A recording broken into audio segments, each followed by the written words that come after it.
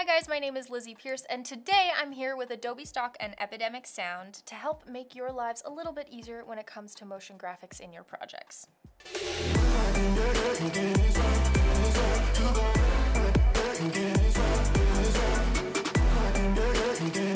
Motion graphics. Love to use them, hate to make them. So what if I told you there was an easier way to add motion graphics to your projects all within Adobe Premiere Pro? I've just opened up my Premiere Pro workspace and imported some sample footage from Adobe Stock into my sequence here.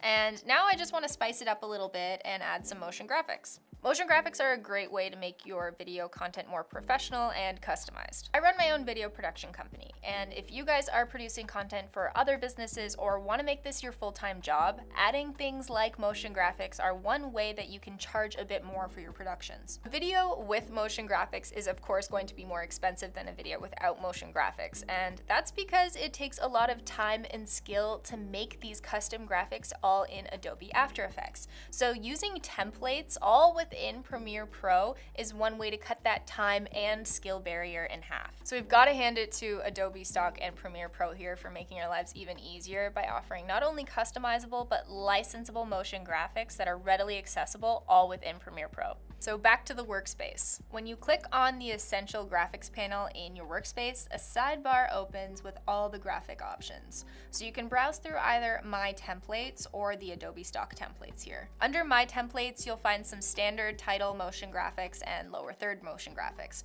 You'll also find any templates that you've added to Premiere Pro yourself. Similarly to importing presets into Lightroom, you can import motion graphics into Premiere Pro that you can use over and over again. To use one of these graphics, you simply drag it into your timeline. And the best part is you can customize it. So when you click on the graphic in your timeline or on the edit button in your panel, all of these options come up. So you can customize the font, size, color, and a bunch of other things. These templates are a great starting point for adding graphics to your project. But if you want to step it up even more, you can head over to the Adobe Stock section of the panel.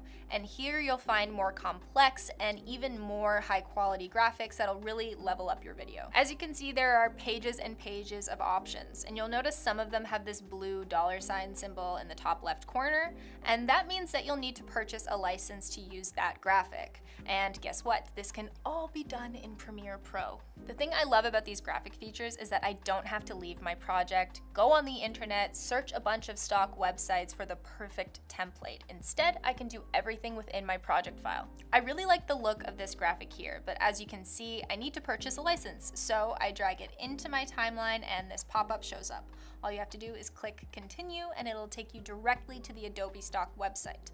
You buy the license and then just keep on trekking with your project. It's as simple as that. Now, if you don't have a budget to be purchasing licenses for your project, that's okay. There is an option for you too.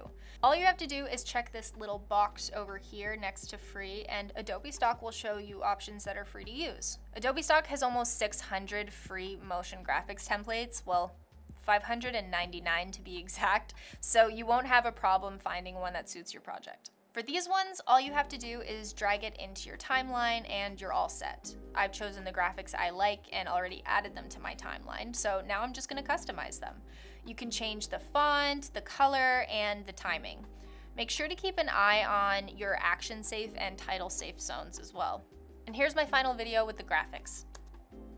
As you can see, this looks so much better than the static titles, and it's so much more simple than creating your own motion graphics. Now, if I made this from scratch, it would have taken hours that, frankly, I don't have. So what have we learned today, guys? To work smarter, not harder.